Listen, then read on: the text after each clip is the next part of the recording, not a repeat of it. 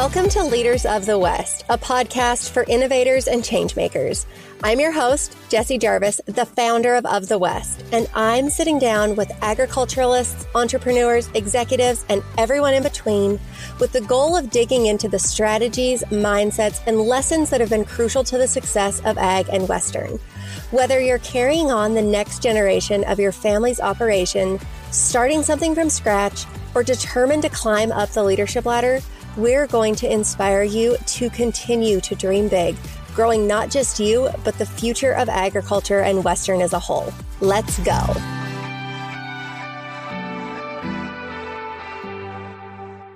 Okay, I promise we're going to get to today's episode, but before we do, I have to share the coolest message that I received from an employer recently who used the site to hire their newest employee. Here it goes. My overall experience with Of the West job platform was beyond my expectations. We received over 70 applications for our hiring position and ended up interviewing multiple amazing candidates. We also had an abundance of valuable candidates apply for our internship position as well. Of the West is a great online portal for candidates to search for jobs and for recruiters to find the best talent available in the industry. Thank you, Of the West. Rodeo Life Magazine. Oh my gosh, you guys. So now I'm going to ask you if you're an employer and you haven't used the site yet, what are you waiting for? The process is easy, it's affordable, and you have the potential to reach some really great candidates who love ag and the Western way of life. And if you're not an employer, you know, you might know of somebody who's looking for a new employee or looking for a new job or looking to connect with a freelancer or a contractor over on the directory. And your willingness to tell people about Of the West makes a massive impact on our business. That word of mouth stamp of approval is the business version of 24 karat gold. I kid you not. No form of marketing beats genuine word of mouth and it does not go unnoticed. So thank you guys for sharing of the West with all of your family and friends. We always appreciate it. And thank you to our valued employers for sending in those kinds of words about our platform. It is so appreciated. As always, you guys can go to ofthewest.co to find your next job, employee, or business to contract with. That's ofthewest.co. I am happy to have you guys back for this week's episode of Leaders of the West. Today we are sitting down with Mesa Pate. I am sure you guys know exactly who Mesa Pate is. In case you are unfamiliar with her, she is, how do I even begin to explain her? Honestly, she is an incredibly talented horsewoman, rodeo athlete. She is a bucking bull stock contractor or was a bucking bull stock contractor. Like she really truly is a cowgirl in every single sense of the word. She and her mom, Tammy Pate, they created Art of the Cowgirl, and then unfortunately, back in December of last year, Mesa's mother, Tammy, passed away from a very long, hard fought battle of cancer. So today's episode, we talk a lot about Mesa's upbringing, which is very, very unique, her and her mom's relationship, all of the changes that Mesa has been through in the last few years, becoming a mom, losing her own mom, selling Art of the Cowgirl, and then Mesa is still on the Art of the Cowgirl team. And there are some great changes that are coming to that event for 2025. So we're going to talk a lot about that as well. It is a long conversation, but you guys, it is so worth it. There's a reason that I invited Mesa to be on the show. And throughout this episode, she proves exactly why that is. She is just such a wealth of knowledge for somebody who is so young in her early 30s, who's been through so much, especially recently, she really is just one of the greatest people. And I am so honored to get to share her with you guys. So here we are, the one and only Mesa Pate. Mesa, I am so honored to have you here today. You and I, I feel like we've been connected for quite a while now, but I don't actually know that we've ever met in person. You were here earlier this summer, kind of in our area for a ranch rodeo and a horse roping that my husband almost always goes to. And for whatever reason this year we weren't able to make it. And I was like, dang it, she was 30 minutes away and I absolutely missed out on seeing her. So it is so good to see you now, even though our listeners don't get to see you. But you guys are in for a real treat. And we're going to talk about some really fun stuff. Obviously, Art of the Cowgirl and just all that you have been through in the last year. But I feel like most people probably know you, but in case somebody is unfamiliar, who is Mesa Pate? Tell us all about yourself, your upbringing, kind of how life has taken you down the road that it has and where you're at now. Yeah, it truly feels like we should know each other personally. And I'm so bummed that I missed you guys in Bruno. And that is, first of all, such a cool event. And it's the first time I'd gone. And I'm very jealous of everybody who lives in that area because it's truly a special place in the world. Like, very, very cool. Well, come on over. You're always welcome. well, thank you. You might, uh, when me and my little feral child show up all the time, you might regret that. But yeah, so my name is Mesa Pate. I was born into a multi generational Montana ranching and rodeo family. I was raised by horse trainers. My parents, my dad started out, he worked on ranches for my whole childhood and then got the opportunity to be a technical advisor on the movie The Horse Whisperer along with Buck Brannaman. And that just kind of really, like, he had been riding a lot of outside horses and had really developed a passion for horsemanship and colt starting. And that really kind of opened a lot of doors into this whole world of being a clinician. And that was our life. You know, we homeschooled me and I have an older brother named Ryle. My mom loaded us up in the truck. We each had a horse. We usually had a few dogs and we traveled the country and the world. My dad would do horse training clinics and demonstrations. He worked for Purina and Priefert for most of my childhood. Yeah, so I grew up seeing the country and getting to see a lot of different horses, a lot of different people. And then we always, you know, our home base was always Montana.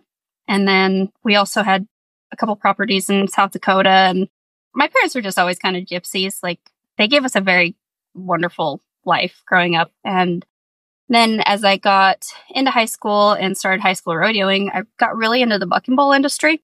And that just turned into a big passion. I don't even know what that stemmed from. I mean, we always watched the PBR as a family, and it was just kind of always something that we were into. And I just got really into the bull side of it. And I'm a researcher. Like, if I get into something, like, I get pretty obsessed with it. So I just started researching the bucking bull industry and found, you know, beyond the main events of rodeo and PBR, there's a whole other world that encompasses the bucking bull industry. And I just fell in love with it. So I went to school. I went to college in Texas. You know, we homeschooled all this whole time. I talked my mom into letting me graduate early. I moved to Texas when I was still 17 and I got into the bucking bull business. And it was funny. Things just kind of lined up. And I bought a set of cows from Bob Tallman with a partner that was a friend of my grandpa's that I like pitched this whole bucking bull business to. And I bought a set of cows from Bob Tallman, who my dad had known. He, my dad was a rodeo announcer back in the day, and he had gone to one of Bob's announcing schools, and they had stayed friends. So I bought these cows from Bob, and he sent a bull that had knocked a hip down and sent him up for me to breed these cows to. And he said, you know, buck him, breed him. Said, I think he'll get over this this injury just do whatever with him and we'll partner on him, whatever you want to do. So I breed this bull, you know, I have him for about a year. I bring him to Texas and I start bucking him and he's just outstanding. So I end up taking him to some local deals and I just kind of gotten my feet wet in it. I was, I didn't know, I didn't know anything. Like it's a miracle I survived like the first couple years in the bucking bull industry. But we named this bull Highway 12 because we were moving this bull and these cows down the road one day and he kept turning back and my dad ended up roping him on highway 12 so that's how he got his name. And anyways he just kept getting better and better and i got some good videos of him. And i just kind of walked up to cody lambert one day and randomly at a bull riding and showed him a video and he said all right bring him and you know cody lambert was kind of like he had the say in everything for up until just a year ago as far as the bull side of the PBR. And I bucked him in Pueblo, Colorado was the first PBR I went to. And we bucked him. I bucked him there. Literally, so this is how much I didn't know. The flank that I used to flank this bull, uh, the first PBR I ever went to, was a nylon rope halter that somebody had tied a ring into for me. Like blue nylon rope halter. And uh, that was the first flank I had. And so he bucked really hard. And gosh, it's been such a long time now. He ended up like the next time I went, he was in the short round. And then by the end of the year, he was in the running for Bucking Bull of the Year. And he allowed me, like, you know, having that bull, I was able to take other bulls and it just like opened huge doors. And I had actually, I bought Bob Tallman out of him at that point. And then I ended up selling him to Jeff Robinson. And at the time, Jeff was kind of the biggest name, the biggest stock contractor going in the PBR, but he let me keep him through the finals. And yeah, so I had that bull. He opened up so many doors for me. I was in the bucking bull industry for close to 15 years. And it just, I learned so much about event production. I got to see, like, really, I would say the best there is as far as putting a show on is the PBR. I was involved with D&H Cattle Company. My son's dad, he owns or he's co-owner in D&H Cattle Company. I got to put sales on. I got to see the bucking bull industry, even though I don't really have much to do with it anymore. It set me up so much for what I ended up getting into, which is, you know, event production. So, long story short, uh, fast forward a long time because um, that was a long time ago now. You know, I've gotten into the cow horse. I've done some other things, and then one day my mom was like, "I'm ready to start planning for Art of the Cowgirl," which is something that she had talked about for years. And my mom and I are we've always been extremely close. My dreams are her dreams. Her dreams are my dreams. That's just how we were. That's how, how our relationship was. So she had talked about Art of the Cowgirl for a long time prior to actually starting to do it. And uh, he was like, Yeah, I'm game. What do you need? And she said, Well, I want you, because at that time, you know, I'd gotten into ranch rodeos to the horse show deal. Like I was really focusing on my horses and that passion side of my life. And she's like, I want you to run the competition and the horse sale side. And I will take care of the art, the, you know, her whole, her idea and her dream of what that looks like. And so that was in like 2018 is when we really started getting serious about it. By 2019, that was our first, probably 2017 is when she really started planning. 2019 was the first Art of the Cowgirl, and it was very scary. Didn't know what was going to happen, but it was a huge success. It's just gone from there. And yeah, as they say, the rest is history. Boy, isn't it ever? Well, I will say I am just so fascinated by the fact that at 17 years old, your parents let you move to Texas and you bought cows to start off on this new adventure that you really didn't know anything about.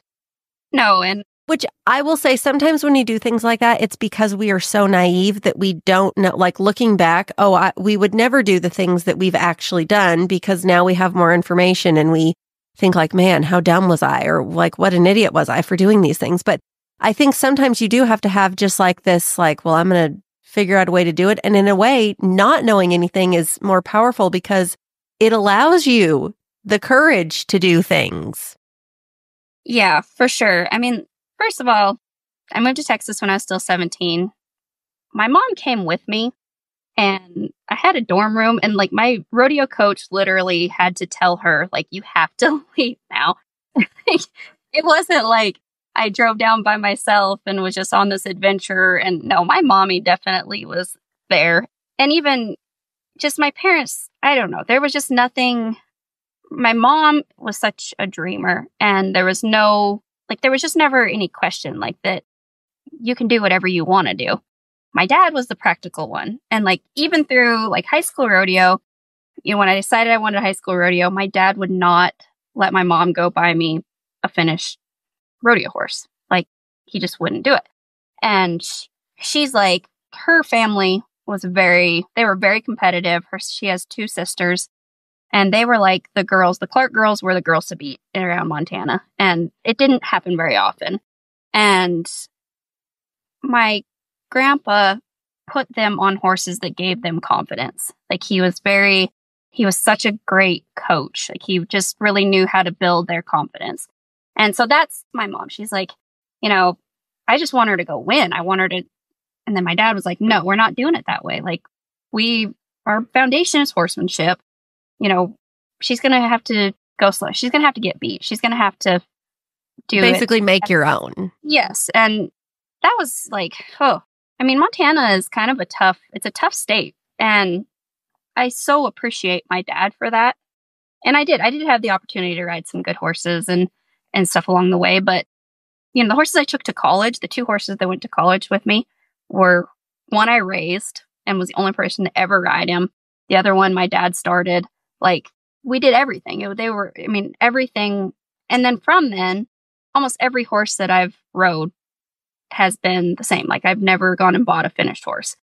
And it's really taught me like, you know, it doesn't look like you want it to right now, but it's going to look so much better down the road. And I have no, like I said, my mom was totally like, she wanted to go get me finished horses. She wanted me to have that confidence. So I see both sides and I'm so thankful for having both sides. But I do think like being 17, moving to Texas, East Texas from Montana, like I would not have been able to do that or had that confidence or self assurance.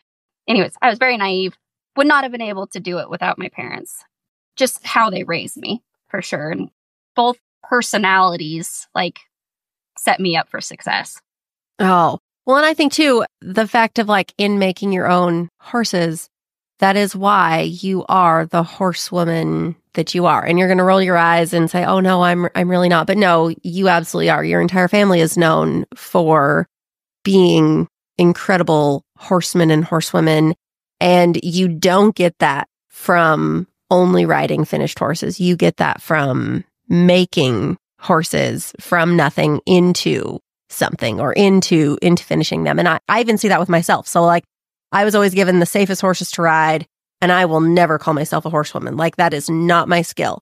My husband, on the other hand, he is an incredible horseman because he was always as a not as a kid like given an unsafe horse, but not necessarily given the best horses and had to figure out how to make them into what he wanted or make them into things that are better. And because of that, he is a thousand times the horse person that I am in that sense. So I totally, I understand both sides as well. There's definitely that fine balance of, especially when you have kids and small kids, obviously you want to put them on the thing that is safe because safe is what builds their confidence. And um, if they get hurt, they're never going to want to do it. But at that same time, like you have to be given challenges because challenges in life are what we learn from. Yeah. And it's funny because there is, like you say, there's positive to both sides. I, I have found like getting into the cow horse, it was so hard for me in a judged event training and showing are so different.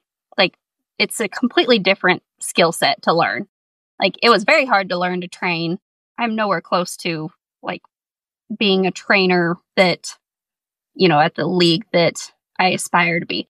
But I had a harder time learning to show. Like I rodeoed and I didn't rodeo just, I rodeoed until I got into the bucking bull business. And that was really what I was passionate about at that time.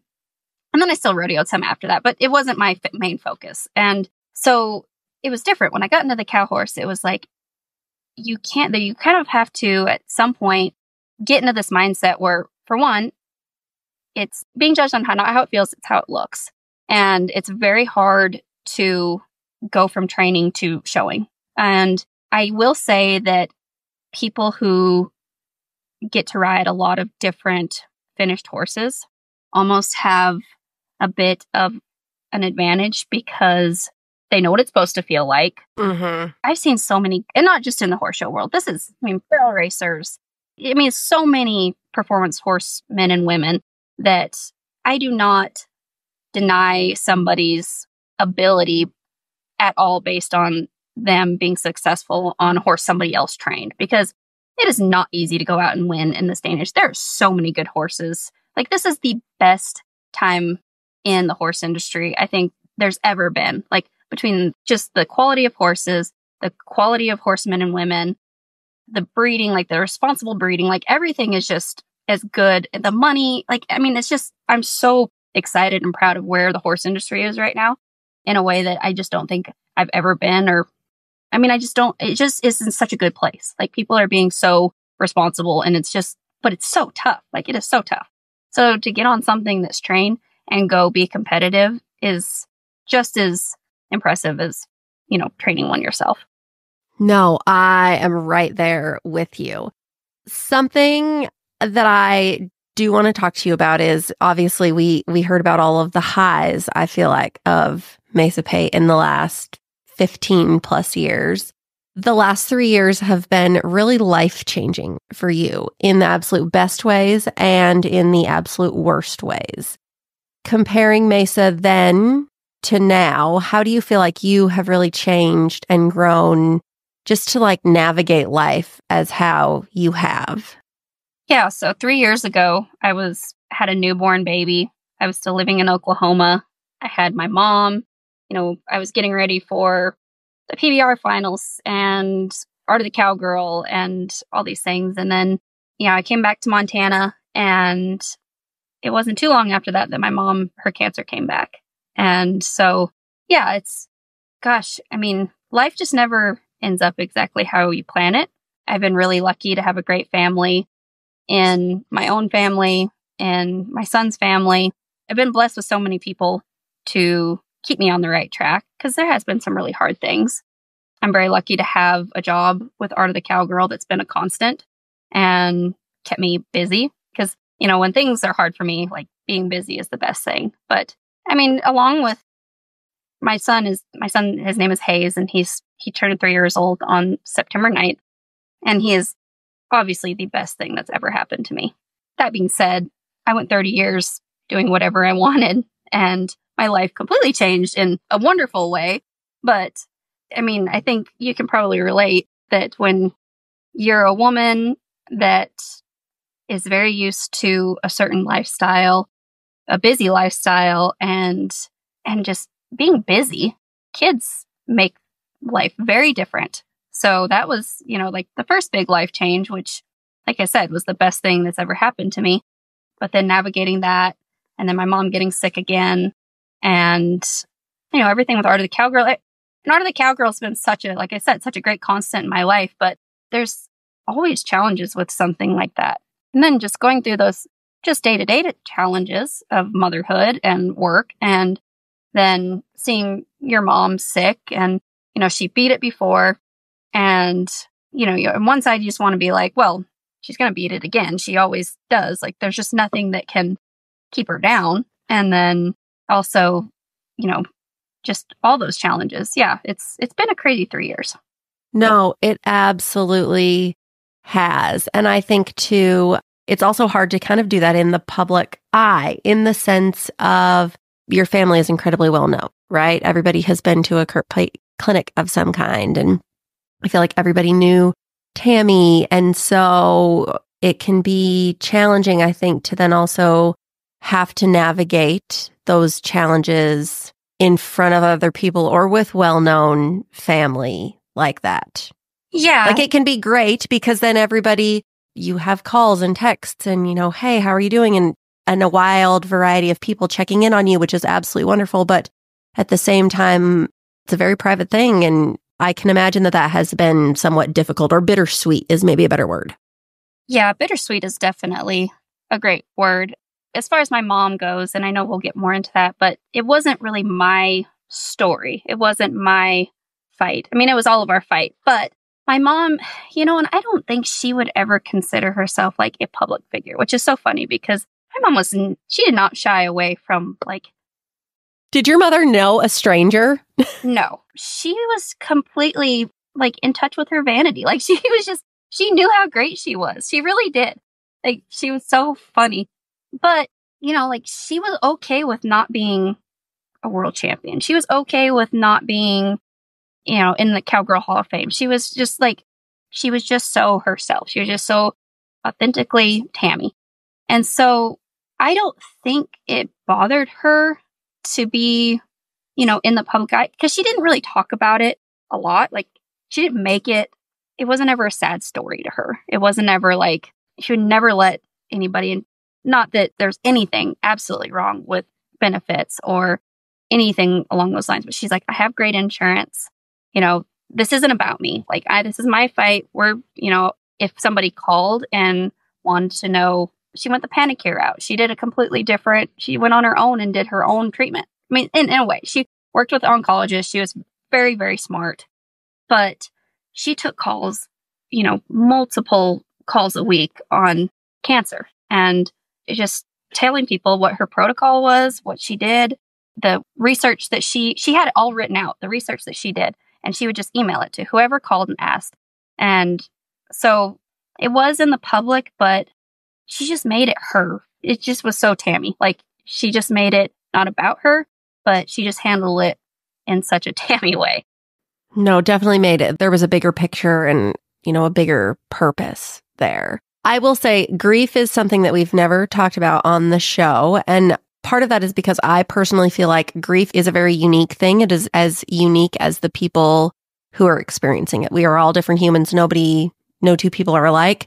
And I think no two experiences of grief are alike, even if it's the same person having lost two separate people. Like even those walks through grief are very, very different. And I know that there are these technical like stages of grief, but again, what that looks like and feels like for everybody is very, very different. But obviously, having lost your mom less than a year ago, you are in the middle of that now. What have been some of the things that have maybe helped get you through some of those really, really hard days? Yeah. And I've thought about that a lot because I don't think that I would have handled grief the same five years ago as I have handled it now, also. I'm not going to say I wouldn't have survived losing my mom, but I think that I would have definitely had to ask for a lot more help and had to have really worked hard to get out of a dark place losing my mom had it happened. So I think that's like I wasn't going to get emotional, sorry. Um I think that that's been like I've tried to find like the blessing in all of this and I it's been hard. That's one the one thing that's been really hard because it just is really hard to understand like how like the good ones just shouldn't happen to the it shouldn't I mean nobody should go through cancer. Just nobody. But for someone who does so much good to go through it, I just really struggle like just why? And I think a lot of it has to do with like I'm in a me. I mean my mom and I were like I mean, I, I'm pretty comfortable saying that we were soulmates. Like, we were just really, really close. And uh, had I not had Hayes or truly Art of the Cowgirl and work, I think that's the blessing that my mom gave me in giving me five more years because she was in remission for five years. So for me, handling grief has been very interesting because I just in thinking about losing my mom when she was first diagnosed because it was it was a very bad diagnosis when she was first diagnosed. And I was like if if I lose her, like I don't know how to how I'll be able to pull myself out of that. When I did lose her, I had a two and a half year old that needed his mom. You know, yeah, you was, have to show up every day. You have to. So, although it was the most devastating thing imaginable, the next day was still another day. It was right before Christmas. Like it was right before Art of the Cowgirl. And so I'm very, very blessed. I'm blessed to have my dad who was, it was, you know, what he had to go through also is just no husband should have to. We got to go through that together, which was when you were in it was just awful, but having him, I mean, it's just, he was just amazing. My family, my whole family, my friends, I just, I had so many people that just surrounded me that, and then I had work. And that's just, that's the way I grieve. I stay busy. And that's the way my dad grieves. Like we both, like we're kind of the same person, which has, you know, been challenging over the years. But we got, we just went to work. And I don't know if like a therapist would say that healthy, But I am incredibly thankful to have had that in that season of my life. And it was work that was my mom. Like it was what my mom created. And I got to see it through. Like, and now looking back on it, it was our last year at Queen Creek. It was so beautiful. Like just that final, everything was just incredible. And I will say that Jamie Stoltzfus, who's with Art of the Cowgirl, was incredible through that, keeping it going and just the whole, you know, our whole crew did such a phenomenal job, not only putting the event on, but, you know, just surrounding me and my dad and my brother. And it just was, it was the hardest, you know, time of my life, but it was so beautiful to see like all these people that just my mom had gathered up and put there to get us through that time also. So I cannot mm. speak for other people's grief, but I will say that somebody aligned God, whoever, you know, whatever force people believe in, mine was lined up to protect me in the worst time of my life to get me through it. And I think my mom had a big part in it. And yeah, it was, like I said, it was a horrible and beautiful time. And I think a lot of people who have who have walked that walk would probably agree. And again, that's why it is so very different for everybody. On the topic though of Art of the Cowgirl, earlier this spring you and your family sold Art of the Cowgirl to its new owners. And a lot of people may think like that that was a decision that was made due to your mother's passing, but it's actually something that you and your mom and your family had been working on long before any of that. And we're going to get into some specific details for the 2025 event because there's some changes and they're really exciting. Um, and obviously, you are still with Art of the Cowgirl. You haven't gone anywhere and you're not going anywhere. But can you just kind of tell people a little bit more about like knowing when it's time to let something go? Because I think we probably have a lot of listeners who have built something or who've created some really cool things, you know, whether they are businesses or events. And and they've considered selling those, but they don't necessarily know like how or when or if they're going to lose some of their identity with that. And can you just kind of share a little bit about that decision and kind of how you had gotten there and all of the details around that? Yes. So we did. We sold Art of the Cowgirl, and it, like you said, something that was in the works and in conversation for a very long time it is very expensive to put an event on. And my mom did an incredible job in doing that. And she built something that was sustainable. Her deal was when she started it was she was not going to bankrupt her family. And she never, she didn't get a business loan. She did it completely without any kind of backing financially. It was her and my, and talking my dad into sticking their necks out and starting this. So she built it literally from the ground up. And it got to the point where it was very sustainable, but where could it go without somebody else that was more financially secure to take it to another place or take it on the trajectory that it was going? And so that was really the big decider in that she was really at her she felt she was at the limit of what she could do with Art of the Cowgirl. And so she, you know, started talking about it, started planning for it. And I really think that when people are thinking about selling a business, I think the questions that I feel would be beneficial in asking yourself is do you want, because her plan was really, nothing was going to really change as far as running the event the people that were interested and that she was talking to really weren't people who would want to run the event themselves. So that was for her, for her situation was a huge, that's really the only way she would do it is if she still was in control of the event. And the foundation and the event are actually separate. Like you cannot sell a nonprofit. So we would always, and we still have control of the foundation. And that's also something, and you know, there's a lot of business out there that do have a nonprofit also. That's like a whole other set of challenges because like with Art of the Cowgirl, selling a, the event without the nonprofit could really make it difficult. Like because the event and the and the foundation it was so there were so many gray areas. It was so merged. Everything was so there was no black and white with the two.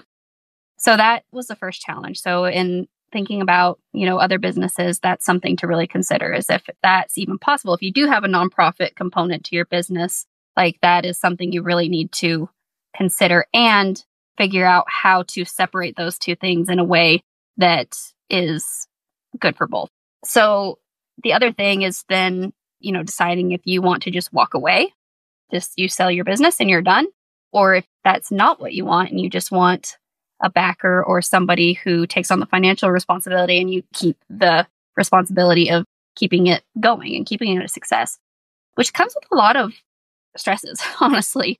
and also not having complete control is really it's really hard to let go of control of something that you've built, which I am I have learned. So with my mom, that was really I don't think she could have ever let control of it completely. Like I think and I I don't think anybody would want her to. Like I just I don't like Tammy Pate is not someone you don't want running your event, honestly. Oftentimes, when people purchase businesses, they do so with the guarantee that the person, whether it is the face of the brand or the CEO or whatever that is, comes with the business. Because otherwise, if that like secret sauce walks away, then the asset that they now have is not the same value. For sure. Yeah. So after my mom passed, it was just a crazy time. And then after she passed, we didn't know what we were going to do. We were considering just keeping it. And, you know, my dad and I were going to run it and Jamie and just keep going like we were. But like I said, it was sustainable, but it was going to stay in the same place. It was not going to, unless, and, and in this economy, like it's a very, there's a lot of unknowns about the future at the moment. And so, yes, we could go another year and we were completely prepared to do that and happy to do that and then see what happens. But, you know, like I said, this event is on a trajectory that needs to keep going. Right. I don't want to see it get like too big and out of control, but it's more about like what opportunities would be available for, you know, what it's about for these makers, for the fellowship program. Like that's where, you know, we really wanted to keep things growing for that. Well, and I think too, it's bigger than than you or your mother. And I mean that in a very respectful way. Like when things are going to be bigger than you, then, then you kind of need to like let them go so that they can continue to grow. And like you said, having somebody with just more efficiencies as far as, you know, facilities or these other areas that are the limitation. When you take that out of the equation, that is when something like Art of the Cowgirl can continue to grow. And maybe it's not necessarily bigger, but it's just the like stronger growth. Yes. Yeah. And that's the deal is where we were having to put so much money into the, you know, five day event that it, it would limit the heart of Art of the Cowgirl. So, so it was really, it was always the time. It was always the right time to do something. And then losing my mom, it just kind of rocked everybody. And then what do we do? And so Ty approached us and it just kind of everything just kind of kept working out and working out. And yeah, here we are. And I think it's the best thing that could have happened for Art of the Cowgirl. So now here we are. There are some fun, exciting changes to Art of the Cowgirl in the coming year. First off, obviously, the dates are new. But can you tell us about what you guys have been working on so tirelessly the last, I would say, like nine months in this new event? Because a lot of things are new, but a lot of them are staying the same. So it's not like people who are who loved the old art of the cowgirl if you will are going to be disappointed because it's a completely like new and changed thing there are a lot of those components that are still there but there's a lot of fun exciting things coming as well and it's it really is the perfect like blend. And I'm so excited about it. And I just want you to share all of the things. Yeah. So Art of the Cowgirl was bought by Rancho Rio. Um, Rancho Rio is run by Ty Yost and Ty Grantham. And I'm going to be the first to admit, like, I didn't know Ty Yost. Um, I'd met him. He's friends with my my mom. My mom's sister is Stephanie Lyman. She's married to Rod Lyman, who was an NFR Bulldogger. And so through Rod, I had met Ty briefly when it sold and and I let my dad, you know, make the final decision on what to do. And when it sold to Ty, I didn't really know what to expect. I was happy. I, I really was I was okay with anything because like like I said, like it needed to go to somebody that could do more with it than what we were financially able. So I could not, you know, we're months into this and I've been working with the Rancho Rio crew. There isn't a better person or better group of people that Art of the Cowgirl could have been put into their hands. Like the first time that I went to a meeting at Ty's and I came home, my dad asked me how it was and what I thought. And I'm like, Ty is so much like mom. It's not even funny. Like they would have fought like crazy. like because they are so much alike. Like they are. kind of such, like you and your dad, right? Yes, exactly. Like huge dreamers, like not afraid to go outside the box, not afraid to do things. I am more scared to go outside the box. Like I'm from an industry where there's industry standards. Like this is how it's done. This is how it's supposed to be done. My mom and I argued all the time. She's like, "Well, why do we have to do it that way?" I'm like, "Because that's how that's that's the way it's done." She's like, "Well, that's stupid." I'm like, well, "It's not stupid because it's words." She's like, "No, like why why would you do it that way?" like, okay. So, and Ty is so like just the same energy. So it's like it's just been like such a a very very cool experience and they are obviously incredible at what they do.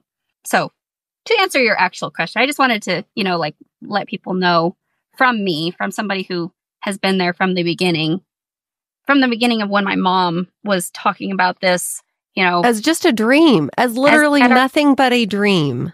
At our kitchen table, like literally, yes, Rancho Rio and this this group of people are incredible and are going to do incredible things with Art of the Cowgirl. And I'm so proud to be a part of it. So I'm in the same position that I was. I'm still the director of the horse sale and the director of the competitions. And which is like actually pretty scary being in that role when like this is one of the best producers in the world and has been a very, very successful horse sale producer. And so I'm so excited for just the learning opportunity and to even be just trusted in that position still. Like it's very humbling and it's just a very cool, it's just been a very, very great experience. And Ty is so passionate about what Art of the Cowgirl is about and honoring my mom and honoring what she built and, you know, the heart and the soul of Art of the Cowgirl. And he's so supportive of the foundation. The foundation is still merged so beautifully with Art of the Cowgirl. It's still the heart of Art of the Cowgirl.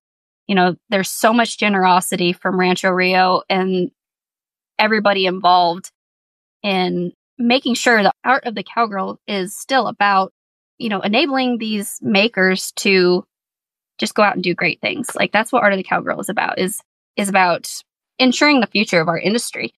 And so having these new owners that see that but have like somebody in place for sponsorships and somebody in place for this and somebody in place for that that have so much experience our crew, our group, like my mom had been in the industry for a very long time. She knew everybody. She never put an event on. Like I'd put on, I'd been part of putting on a, a lot of bull sales. I never put a horse sale on. I never put a ranch rodeo on. Like I can't believe I had anybody enter the second year from the first year of the Cowgirl. Like, I mean, we didn't know. My mom knew everybody in the industry as far as going and asking for sponsorships, and she was not afraid to do that but she never wrote up a contract. Like she had signed a lot of my dad's contracts, but you know, like having these people with so much industry experience in their respected areas is just, it's so game changing for Art of the Cowgirl and it's going to elevate it so much higher than what our very, very talented group was able to because there was just not enough of us. And we put a very big event on with a very small crew. And that was only because, like, again, just the logistics. Well, and you just, I mean, it was possible because we had the greatest people in the world that believed in my mom. And they're like, when you're around my mom, you just didn't really have a choice. Like, you, you just did what Tammy said. And so going forward to really answer your question, like, I don't see like there's been a lot of talk on like the event's going to be cha- a lot different and everything's changing. We've changed venues before. Like we went from, you know, a very small venue to Queen Creek.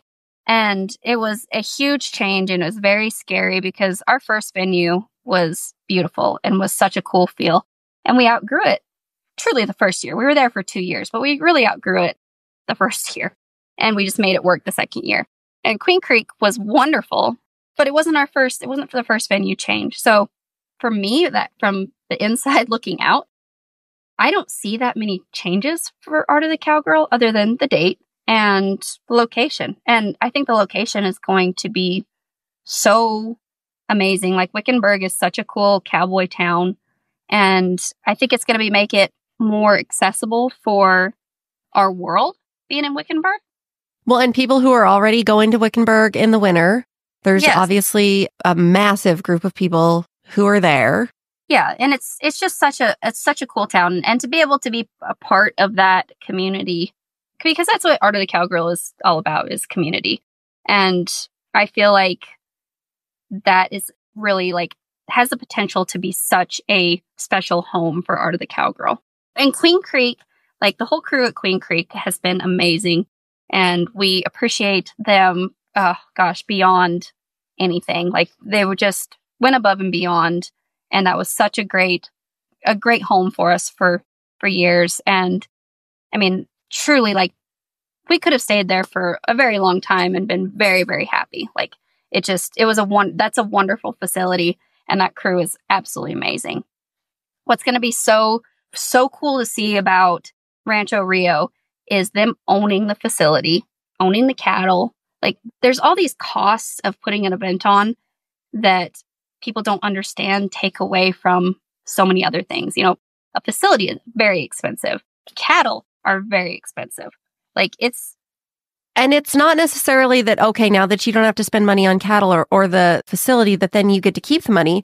It's no, we get to put that money back into other things to make the event bigger and better or cooler. Like it does not come from a place of greed. It comes from a place of actually like wanting to give. Hey, we know we can make this event better. We can make the payout bigger, what, whatever, like what have you, because we don't have these other expenses. It's being business Yeah. savvy. It's not being greedy at all. no, and and that's what it's so hard. I think until and I didn't know. I mean, I had no idea until you're in it, until you really Mhm. understand. Like event production is fascinating for one. Like I really I love the that side of it. I love figuring out. And Ty Yost is like a genius. Like he can sit there and da da da da in his head and like come up with numbers and like I have to have a calculator and like I don't even know what to try to figure out numbers, but it's so cool to like exactly what you say. Like it does not come from a place of greed. Like this event isn't big enough to where everything's going in any like everything made is going in somebody's pocket. Like it is still it's a self-sustainable business and It goes back into itself. Yes. And so, but the money that would have, like you said, gone to, you know, cattle. I mean, cattle, cattle is such a, people don't understand. Like, cattle for a horse event is a huge cost. And, you know, there's still like, the cattle are still going to be leased, but it's like, there's just so much more freedom. There's so much more Mhm. it's just going to be so cool to see what can be done and the facility and everything. Yeah, it's just, it's very cool. So, what are the new dates? It has always been held in January, but now it's moving to February and March. Yes, so it will be February 25th through March 1st, with it concluding with the Ranch Rodeo Finals and the horse sale. In Wickenburg, Arizona. Any other details? Yeah, so everything, like I said, you're still going to have your same. We're honoring our masters and fellowship recipients, still an amazing trade show, still tons of educational programming as far as demonstrations, workshops, hands on workshops. Ranch Rodeo is the same. Horse show, four event horse shows the same. We are adding a team roping. The breakaway roping is the same. Merck has stayed on, and we've been able to keep that really cool breakaway roping that has been super fun to watch grow over the years. And then our invitational horse sale.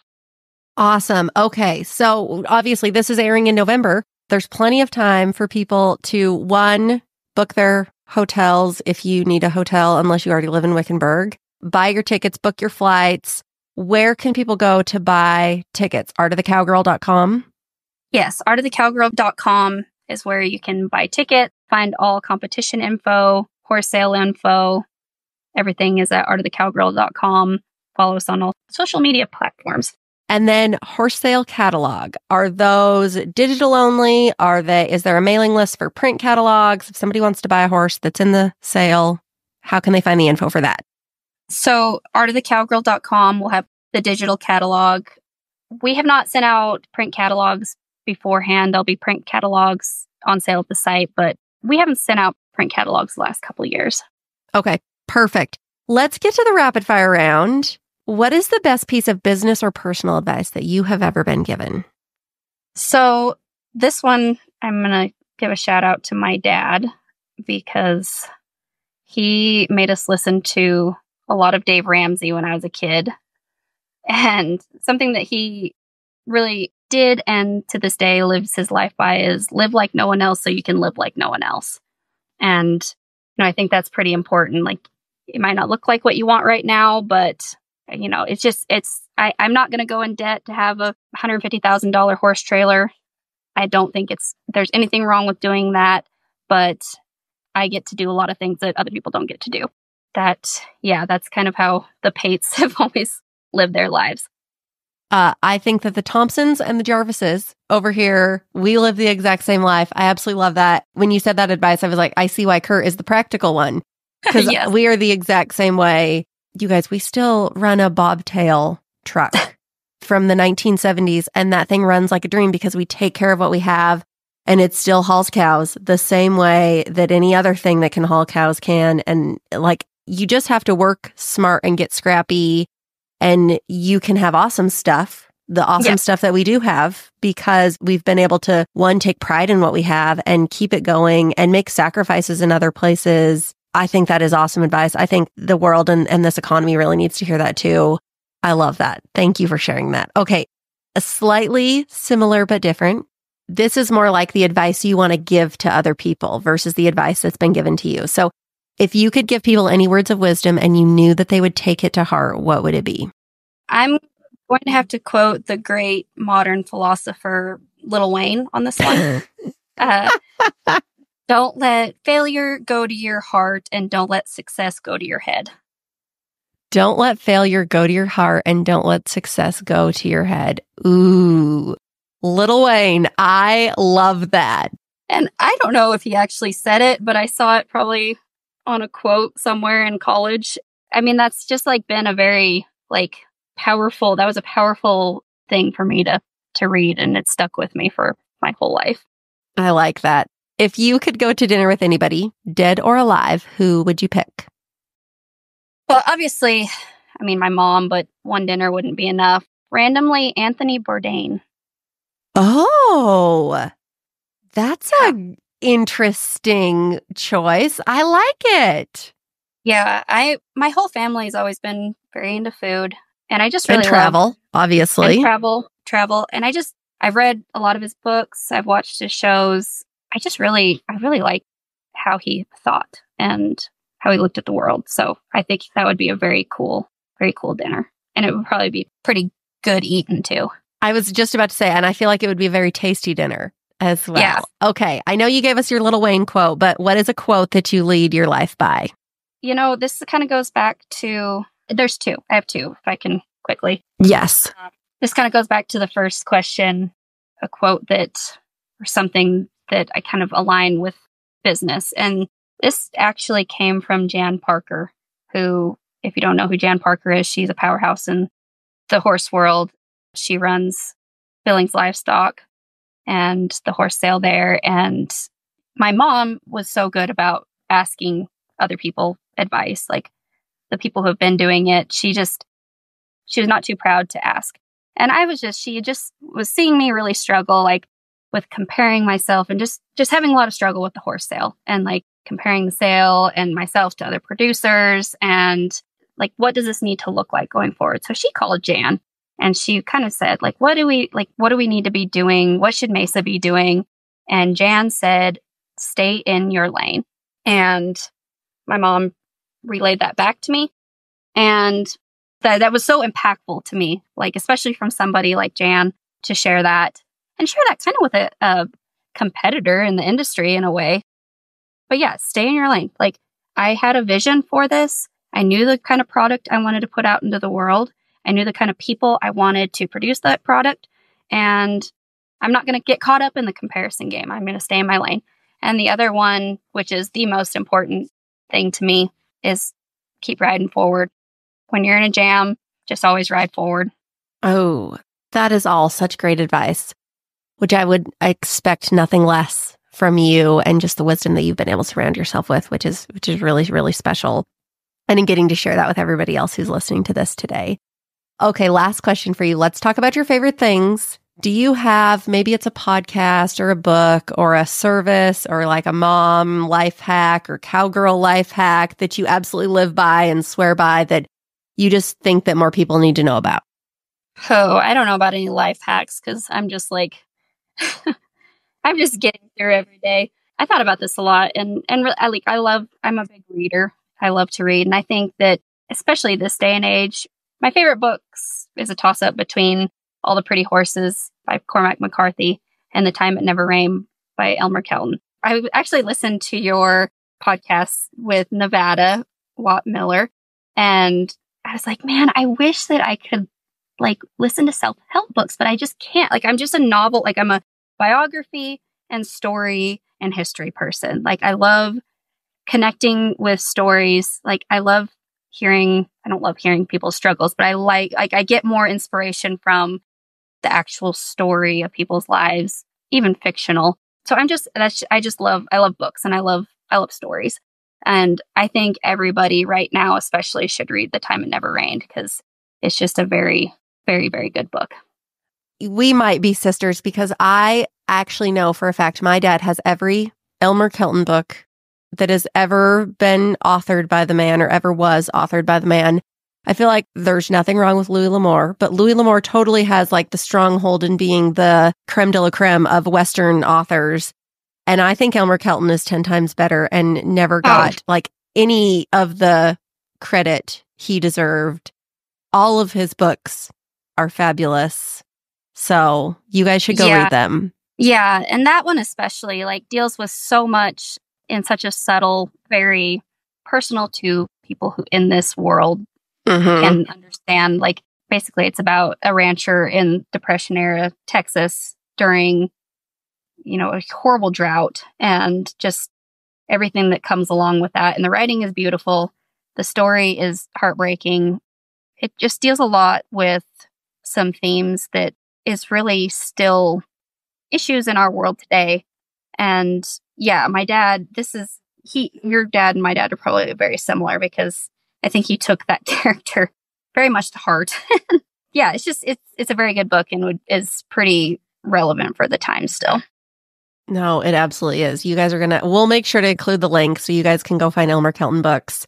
They're all so good. Mesa, thank you so much. This was an amazing conversation, as I absolutely knew that it would be. I am so inspired by you. You really are a rock star. You have been through so much in such a short amount of time at such a young age. You, from the outside looking in, you have done it so gracefully. I know it never feels like that from the inside looking out, but there are a lot of people, men and women out there who respect you so much for just who you are and what you have created and your strength in some of the hardest times and your family as well. But like you specifically, you really are just one hell of a woman. And I am so thankful that you took the time to sit down and chat. And I cannot wait for Art of the Cowgirl in Wickenburg, Arizona, February 25th to March 1st. You guys, first of all, anybody in a cold state, you know you've been missing out on everybody else being in warm, sunny Wickenburg, Arizona, team roping and breakaway roping their lives away. You might as well go join them, especially during Art of the Cowgirl. It's going to be a fabulous event. I'll make sure that um, we include information in the show notes. But Mesa, thank you so very much for you guys who are listening today. Please do us a favor, share your biggest takeaway in your stories. We'll make sure to reshare it. Tag Mesa, tag Art of the Cowgirl, tag of the West. This was a really good conversation. I know it hit home in a lot of different ways for everybody. Thank you, Mesa, for being here. Thank you guys for listening. And as always, you know, you can find us back here next week with a brand new episode. If you loved this episode, do us a favor and share it with someone else who might find just as much value in it as you did. We're on a mission to continue to grow and strengthen the future of agriculture and Western industries, and you spreading the word helps us make more of a positive impact. It also makes a big difference when you take a minute to go rate and review the show. We can't thank you enough for listening, for sharing, and for loving Ag and Western as much as we do. We'll see you back here for our next episode.